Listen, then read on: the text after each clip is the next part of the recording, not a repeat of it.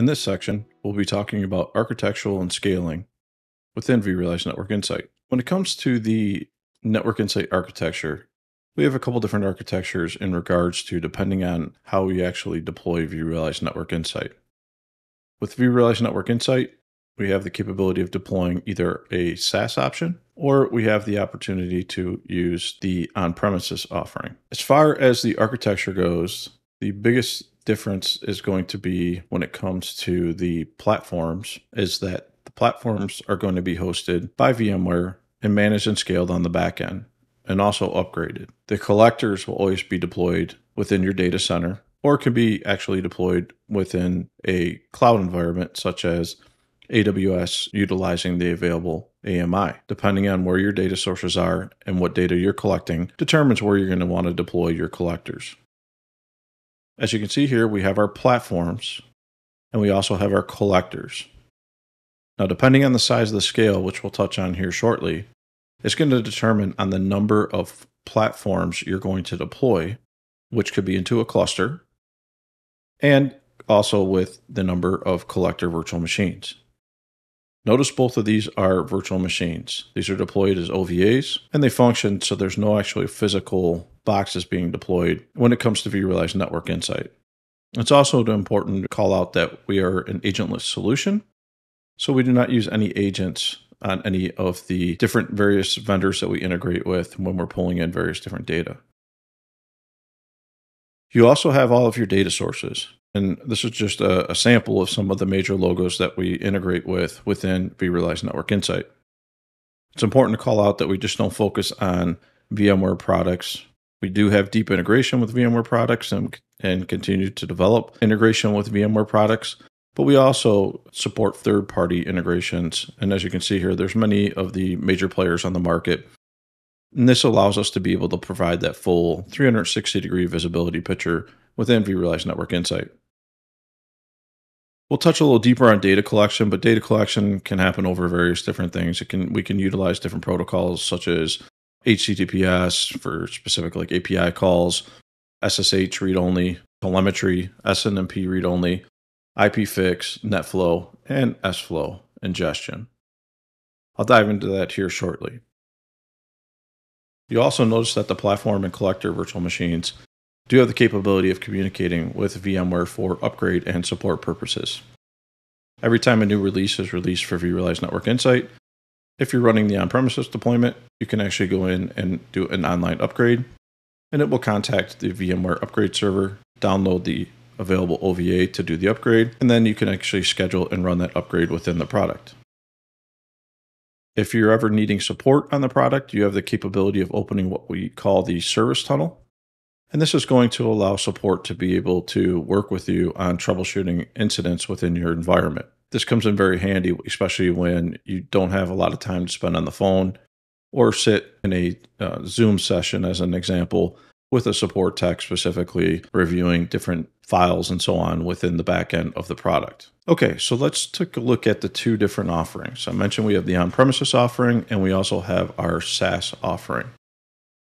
I'm going to go ahead and let this slide build out here just so it's a lot easier to cover. And keep in mind, this is just a sample of what we integrate with from a vendor perspective, but just to kind of paint a general idea in regards to how we actually communicate and pull data from various different data sources. So starting off with the on-premises deployment, we can see here that we have our platform VM, we have our collector VM, and we can see that the collector VM sends data only to the platform via HTTPS or port 443.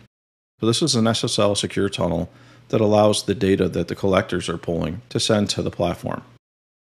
Users access the platform, which is essentially going to be the GUI interface, which is run through and accessed via a browser. Currently, we support Firefox and Chrome to be able to access the platform. And then you're also going to be able to see that the collector is what is actually going out and doing collecting from the various different data sources that we support within vRealize Network Insight. So here you can see as far as things like VMware vCenter, NSX Manager, this is going to be third-party physical switches, routers, and firewalls.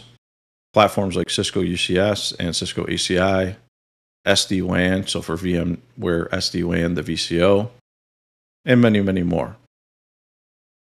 So this is where we're actually taking, and the collector is contacting these data sources and pulling data via the various different protocols that you see here, whether it be HTTPS, again for API calls, SSH read only or SNMP read only, or streaming telemetry. When it comes to data sources such as physical networking devices and VMware vSphere and also VMware NSX, we also ingest flows to provide you with the rich data and analytics within vRealize Network Insight. This is going to be utilizing things like IPFix or NetFlow or SFlow. So these are actually flows that are being sent from the devices over port 2055 to the actual collector. The only difference would be on SFlow, we use port 6343 for SFlow communication. For the NSX Advanced Load Balancer, which was formerly AVI, we also collect flows on port 2191. And then you can see that we have other integrations, obviously, with public cloud or VMware cloud. And a lot of that is going to be utilizing strictly just API calls and pulling in specific data from those platforms, including flow records and so on. Lastly, you can see the VMware Cloud. Again, as I mentioned, this is for upgrade, registration, and support. And also if you're running federation inside your environment, where you're federating multiple deployments of vRealize Network Insight into a single instance, federation will also utilize port 6060 to communicate with the various different VMware Cloud platforms to be able to see the different environments. You can also see down here that there's a link you can click on this link and it will actually take you to the vRealize Network Insight install guide and show you the various different ports that we use for every single different product that we support integration with. Moving on to the actual SaaS offering. So you hear this referred to as vRealize Network Insight Cloud or vRealize Network Insight Universal. The difference is Universal allows us to actually utilize the licensing to be able to either deploy in the cloud or on premises, whatever you may choose. Whereas vRealize Network Insight Cloud and vRealize Network Insight on premises have separate license if you just want to focus on strictly running within SaaS or on premises. Universal is considered the flexible option when it comes to deploying. So as we let this slide build out, here again, you can see as an example, the various different communication. Now you'll notice everything looks pretty much the same. The big difference is, is that the Network Insight platform and the upgrade support obviously are actually running within VMware Cloud Services. The collector is still going to be deployed in most cases within your data center. And this could be multiple collectors depending on the size and the scale. Again, we'll touch on that shortly. When it comes to things like Amazon Web Services and Azure and so on, the platform has a capability of collecting or connecting directly to those from the actual cloud. So you're not actually pulling from the actual uh, specific collector VM deployed within your on premises environment. The users still utilize their browser to be able to access the platform. And when it comes to look and feel between the on premises offering and the SaaS offering, it's very, very identical. The difference is, is the SaaS offering at different times offers more features than the on premises offering. This is having to deal with monitoring the scale on the back end. And that's one of the beneficial points of utilizing the SaaS offering. VMware can monitor on the back end and see CPU and memory utilization, along with things like how many flows we're ingesting and other data to be able to determine if we need to scale on the fly to support your environment. This is also done with the upgrades and so on, and any type of maintenance is done on the back end automatically by VMware. It also takes the platform OVAs that are actually typically on the on premises offering running in your on premises data center that consume the most resources when it comes to deploying vRealize Network Insight, when it comes to CPU and memory utilization, and also disk space, is now being hosted by VMware on VMware hardware on the back end. So you're not actually consuming that additional hardware space when you're actually running the SaaS offering compared to the on-premises offering. So let's talk about how secure is the data within vRealize Network Insight Cloud. And this also pertains to vRealize Network Insight Universal if you're using it in the SaaS deployment. So when we look at the various different data that is collected, we can see that we have our collector virtual machine that is running within your data center or multiple data centers or could be multiple collectors. You can see an overview here of what type of data is actually collected from the actual collector VM. This is collecting from the third party data sources and the VMware data sources within your data center. So we're pulling in things like P's, machine names, routing tables, firewall tables, interface stats, etc., depending on the data sources that you've added within the product. What we do not collect on the collector is user data. So we are not pulling usernames, profiles, or specific data within a workload. All of the data that is brought into the collector is where that's going to do the deduplication, aggregation, and so on. And then that metadata that's collected is actually is what's sent in data in motion encryption between the collector and the actual platform. So here you can see the various different people that could access or personas that can access the actual platform if given access. And you can see here in regards to what the retention periods are and you know what is actually secured and so on. So data access when it comes to accessing the platform in the SaaS offering, obviously, you as a customer have fully access to that. VMware has that from a support perspective and other VMware cloud services, depending on how many you're running or different services you may be running within your environment. But no third party visibility is allowed into the platform where the metadata is being stored. So, this is keeping all of your personal data and so on within the actual collector within your own environment and is only sending the actual metadata collected and the aggregated data from the flows and all of the different metrics that we're collecting sent to the platform over an encrypted connection. Okay, so let's move into sizing and scaling. And it's really important. I want to call out that when you're dealing with sizing and scaling, you want to make sure that depending on the version of your vRealize Network Insight you're going to be deploying or, or have deployed or going to be upgrading to, that you check the latest install guide for vRealize Network Insight, whether it's the SaaS offering or the on premises offering, to look at the current scale. The scale does change with newer versions.